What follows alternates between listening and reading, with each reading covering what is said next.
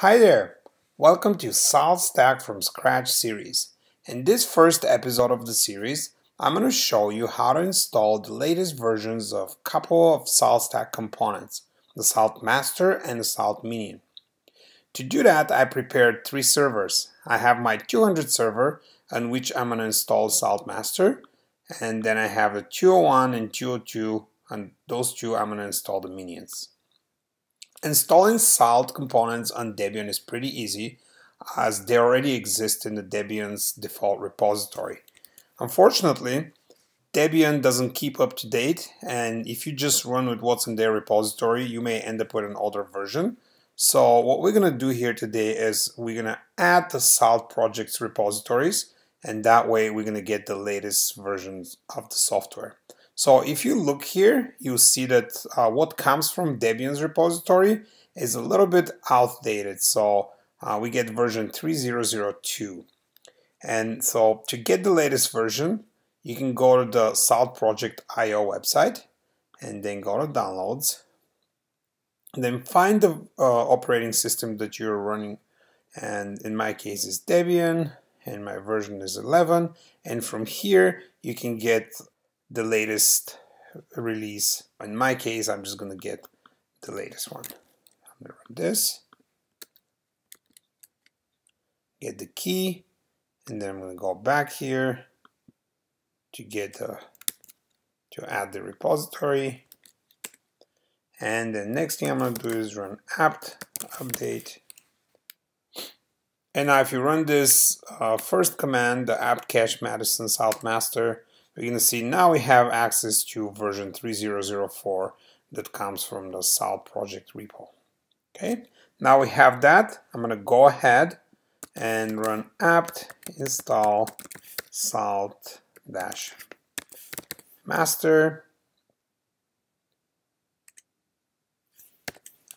and then while this is running I'm gonna go ahead and add salt project repos to my minions as well. So I'm going to put the keys first. Then again, I'm going to add the repo and run apt update. All right, now that those are updated, I can do the same, just run apt install salt dash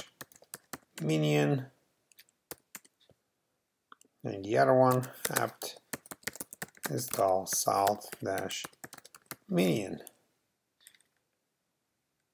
I misspelled this. There you go.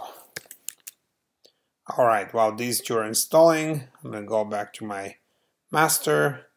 This installation here had completed, so I'm going to run service salt master status to see if it's up and running. And there you go, you can see the server is up and running.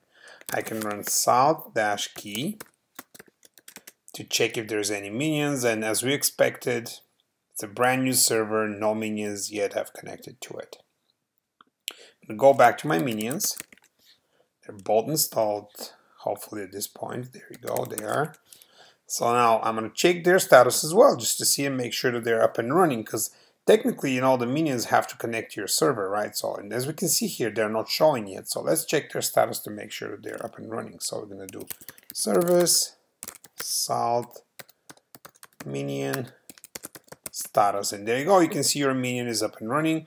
But we see an error here. It says master hostname salt not found, not responsive. And this is why the minion is not showing on the, on the master.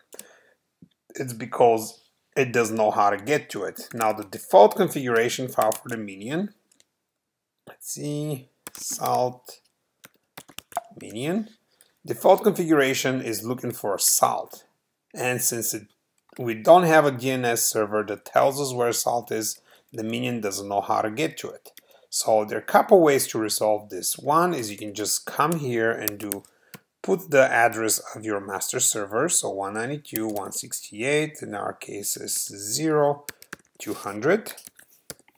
Or the other option is, I'm going to do that on our second minion, is what you can do is you can go and edit your hosts file And here you can make an entry for it that you say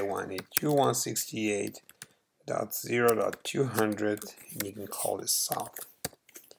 There you go, and then you can do uh, service salt dash minion restart to restart the service and I'm gonna copy and paste this on the other machine to make sure that restart service here and now if I come here and run this I will see both minions trying to connect to the servers and their keys are not accepted yet.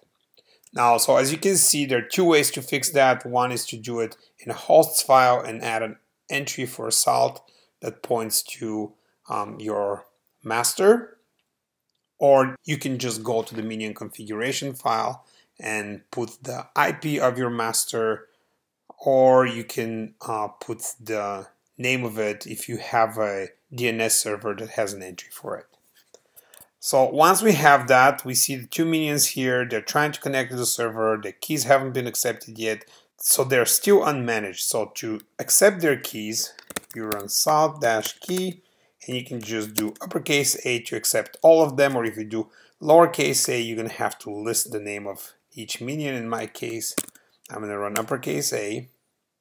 It's to tell me that, you know, these two are to try to be accepted. I'll say yes.